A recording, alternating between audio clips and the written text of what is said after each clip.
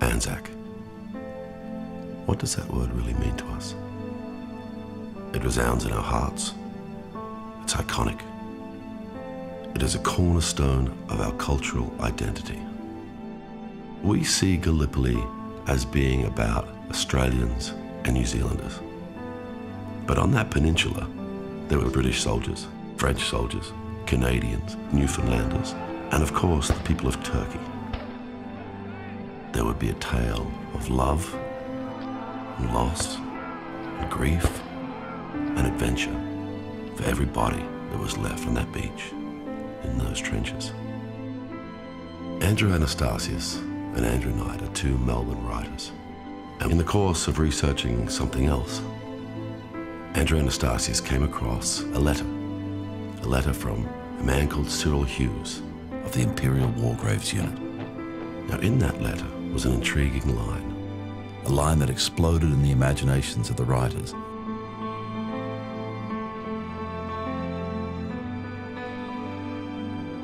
And became a script, The Water Diviner, that was and is a page one love story for me.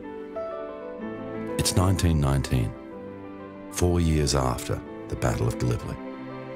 A man goes on a journey to retrieve the bones of his three sons.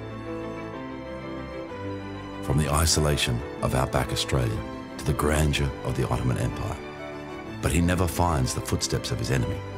He finds instead more than he could have ever hoped for, and a love that reignites his life.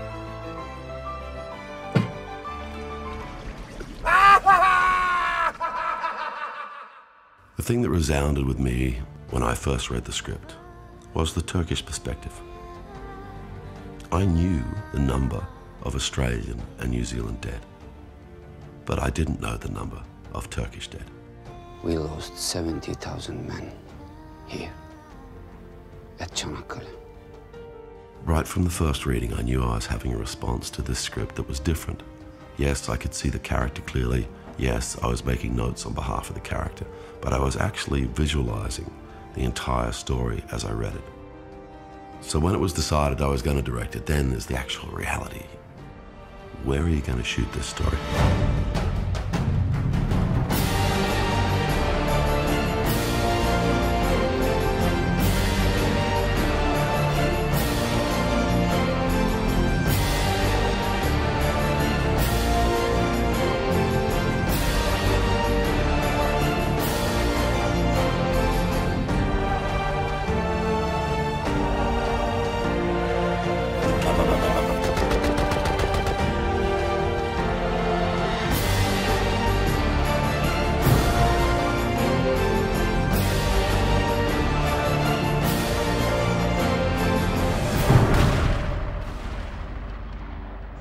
First experience of TV sets, and movie sets, was a TV show called Spy Force and starred Jack Thompson and Peter Sumner. So this is bringing all of that sort of stuff back into a present form. And I get to be the guy that moves the chess pieces around.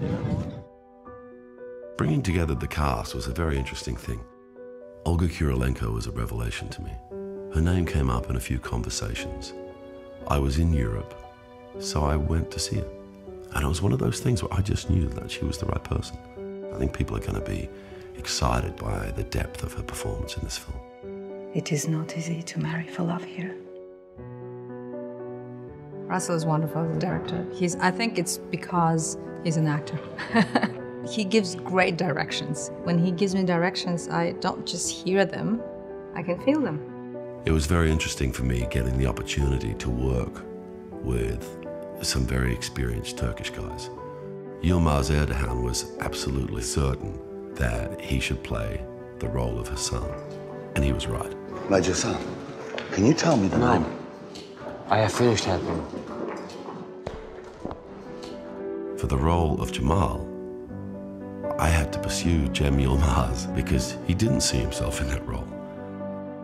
But then he had such wonderful insight as to what was in balance with the character and pointed out to me things that the character needed. And that's when you know the actor is engaged. You can easily create a legend made up legend out of every war story, but it's not that. It's the real characters, real situations, real struggle.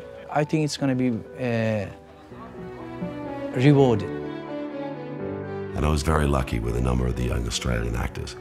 Jai Courtney, I think when you're working with material that you're really passionate about and you care about, you know, it doesn't matter how how tough it is, how tough the preparation is, how hard the shooting is, and all that stuff, because you know what's rewarding is is you know what you're creating. The Three Sons, played by Ryan Corr, Ben O'Toole, and James Fraser.